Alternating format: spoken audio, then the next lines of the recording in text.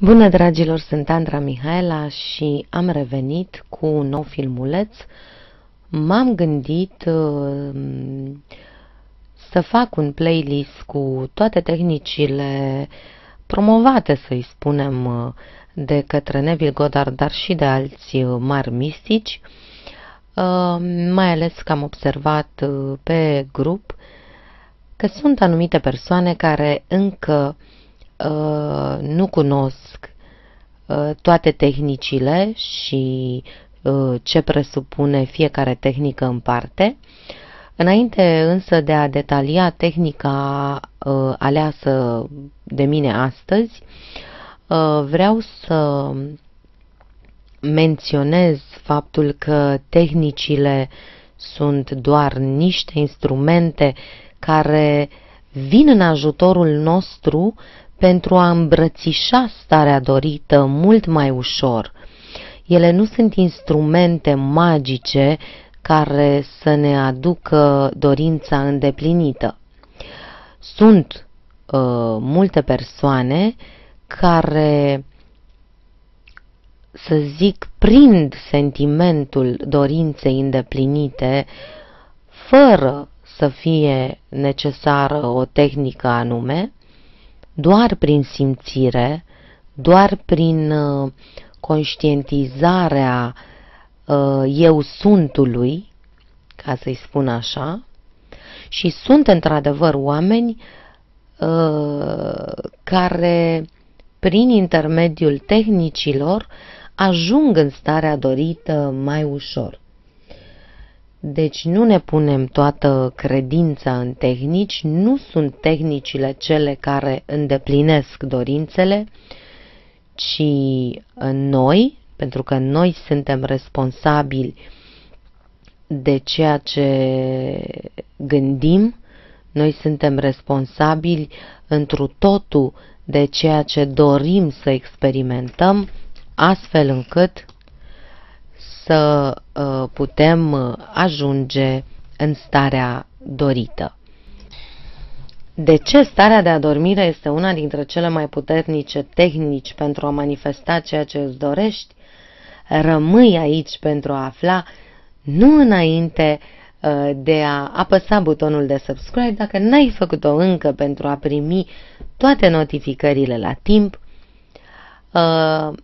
Aștept un like și un share la final dacă ți-a plăcut acest filmuleț și dacă l-ai găsit util, de asemenea te aștept și pe grupul privat de Facebook Îndrăznește să crezi, tehnicile lui Neville Goddard și ale altor mistici. De ce? Starea de adormire este una dintre cele mai puternice tehnici? Păi, să spunem, pentru că Subconștientul este calea prin care putem comunica cu divinitatea. Sau putem să o numim cum vreți, divinitate, univers, forță supranaturală, fiecare în funcție de credința lui. Este modul prin care putem comunica uh, în mod direct și modul prin care rugăciunile noastre pot fi auzite. Uh, starea de uh, adormire uh, vine cu un mare, mare beneficiu și anume că în această stare subconștientul preia frâiele conducerii corpului nostru, ascultând de ceea ce noi îi transmitem prin imagini, prin simțiri, prin simțire uh, sau afirmații. De aceea, Neville uh, a vorbit de nenumărate ori despre starea de adormire, în engleză state akin to sleep. Vedeți uh, în multe uh, filmulețe uh, și comentarii de abrevierea acestei tehnici SATS, SATS, da? de aici vine State Akin to Sleep, stare de adormire. Um, așa cum am spus, pentru a comunica eficient cu divinitatea, este important să o facem într-o stare relaxată, similară stării de adormire, uh, Neville Goddard spunându-ne uh, cam cum ar trebui să folosim această tehnică în procesul manifestării. Drept urmare, atunci când îți dorești ceva, trebuie să identifici ce anume îți dorești, deci să identifici dorința. Acesta este primul pas în elaborarea tehnicii.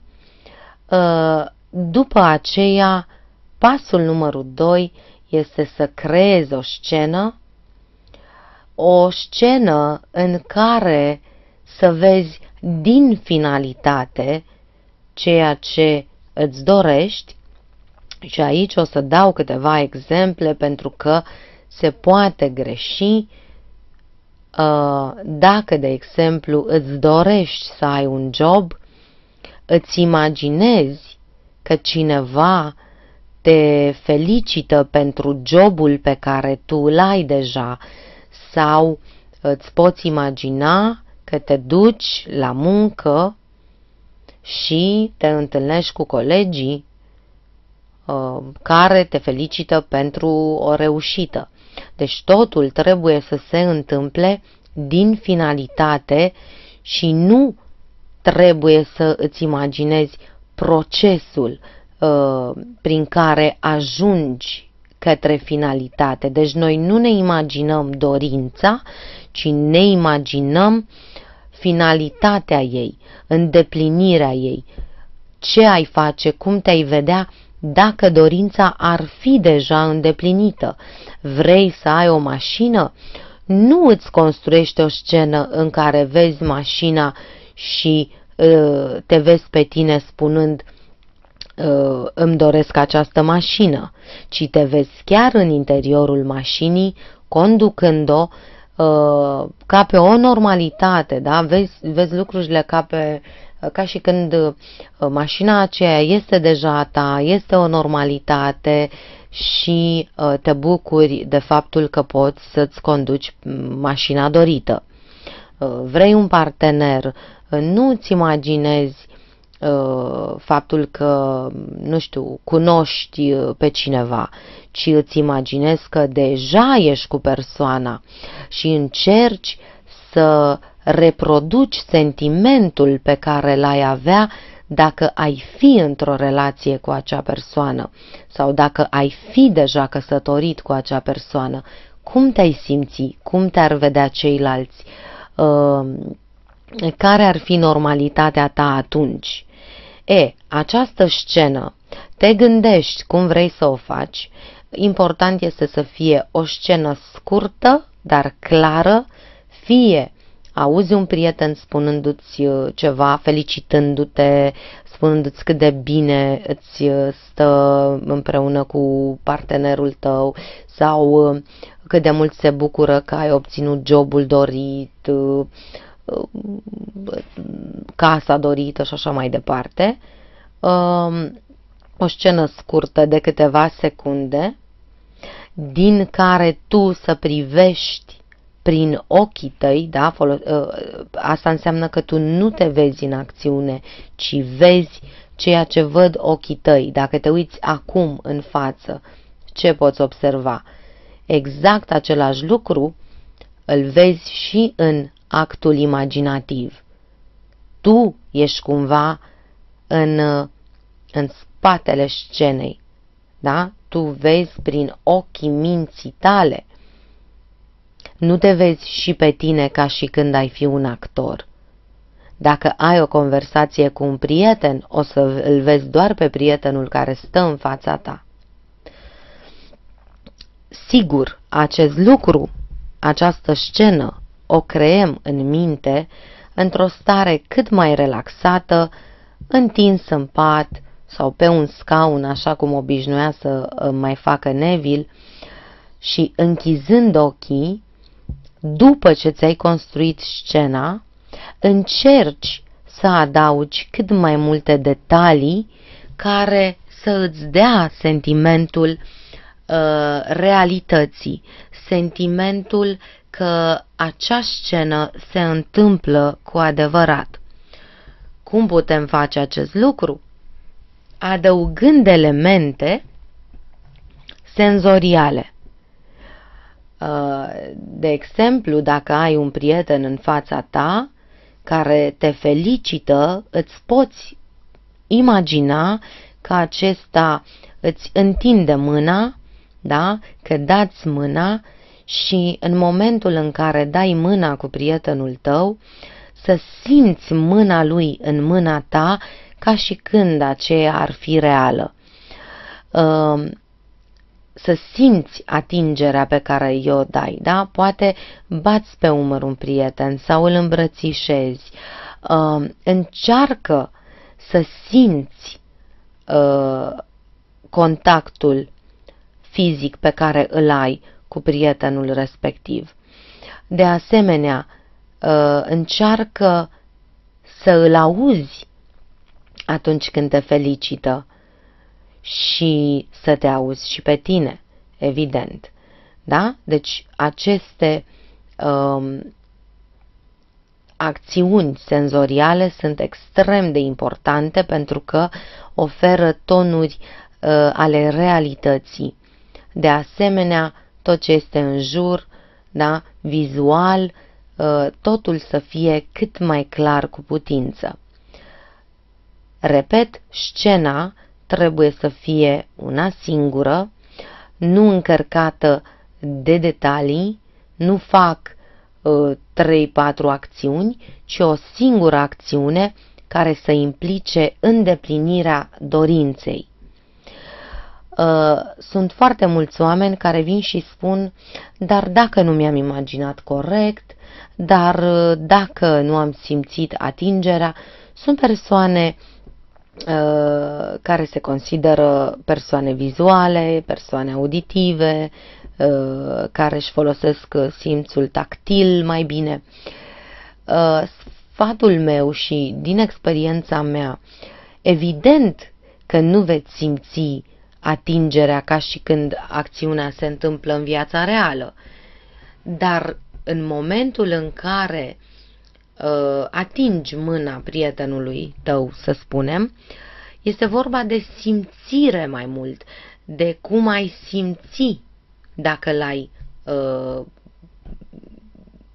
da, dacă îi strânge mâna, să zicem, pentru că este clar că nu poți să reproduci uh, senzația uh, pe care o ai atunci când uh, execuți uh, acțiunea. uh, în mod real. Deci e vorba doar ca cumva tu să-ți păcălești subconștientul de realitatea a ceea ce vede. Uh, din punctul meu de vedere, uh, aceste scene în starea de adormire trebuie făcute cu relaxare, cu detașare și cu siguranța că lucrurile sunt făcute așa cum trebuie. Uh, nu încercați să gândiți prea mult acea scenă.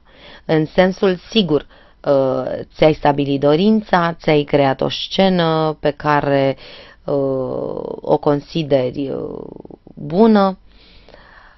Încercați să nu despicați firul în patru, să vă gândiți dacă nu a mers, dacă nu mi-am imaginat cum trebuie, dacă nu l-am auzit cu vocea lui, dacă atingerea nu a fost prea bună. Pentru că astfel, de fapt, traduceți subconștientului eșecul. Cum poți tu să-i spui subconștientului tău că ceea ce îți imaginezi este realitate, dacă pe de altă parte ai uh, o mie și una de dubii în actul tău imaginativ. Credința este uh, legată de lucrurile invizibile, de lucrurile nevăzute, atunci sfatul meu este ca cu credință, cu detașare, cu relaxare, cu încredere, să te așezi relaxat uh, pe pat, pe scaun, într-un loc unde să poți să ajungi în starea de adormire, așa cum am spus, cel mai bine seara înainte de somn, după ce ai creat scena, să o repeți în ochiul minții uh, până când adormi, nu alte scene, uh, nu alte cuvinte, ci acea scenă scurtă uh, de mai multe ori până când adormi, sigur îmbunătățită cu toate simțurile posibile. Da, așa cum am spus, pa, uh, miros, dacă se poate, uh, atingere, uh, simțul auditiv, vizual și o repeți în ochiul minții până când adormi, pentru că este cea mai eficientă cale de a impregna subconștientul.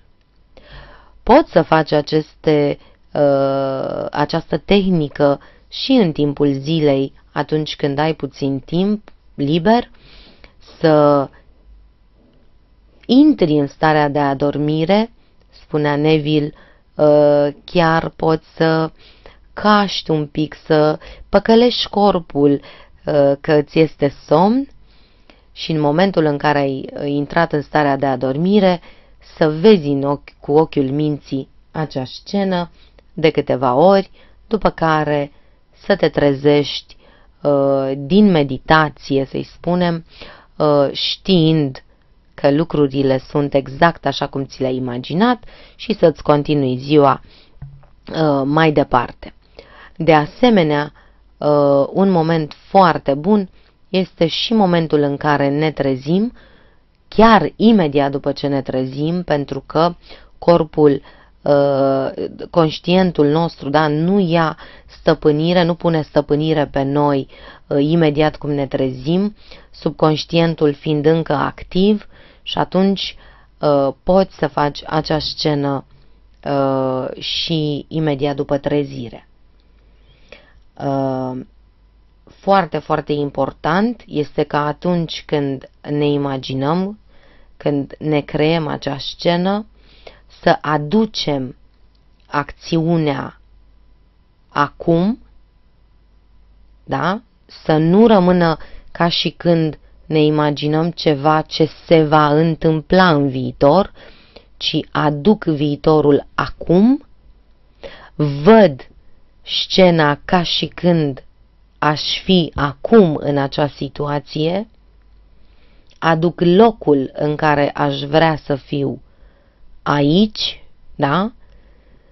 Deci eu nu văd un film în acea scenă, ci mă văd pe mine acum, acolo, în locul în care mi-aș dori să fiu sau cu persoana cu care mi-aș dori să fiu sau la locul de muncă sau cu acel prieten care mă felicită și așa mai departe. Totul trebuie să se întâmple în imaginație ca și când s-ar întâmpla acum. Faceți acest lucru în fiecare seară uh, până când simțiți toate tonurile realității, până când uh, știți că lucrurile sunt așa cum le-ați imaginat. Nu există un număr de zile. Uh, unii pot spune trei zile, unii cinci, unii șapte, unii o lună, unii două luni. Uh, nu avem o, uh, o certitudine, să zicem, a zilelor. Dar oamenii, de obicei, își fac această scenă seară de seară până când ceva din interiorul lor le spune că s-a înfăptuit și că sămânța s-a plantat și că nu mai au uh, de ce să facă acea scenă. Au fost oameni care au persistat însă în scena lor și au spus-o până la îndeplinirea dorinței. Deci cred că ține de fiecare dintre noi modul în care uh, folosim această tehnică minunată uh, și sper să vă fie de folos. Dacă aveți întrebări, neclarități, poate nu am fost uh, 100% uh, înțeleasă, uh, aștept în rubrica de comentarii și ne vedem data viitoare cu un nou filmuleț, cu o nouă tehnică. Încercați-le! Încercați, încercați, încercați, experimentați cu lucruri mari, cu lucruri mici, astfel încât să vă convingeți prin propria experiență, pentru că este cea mai importantă, de veridicitatea uh, legii Asunției. Până la următorul filmuleț, să avem cu toții, dragilor, pace în suflet. Numai bine!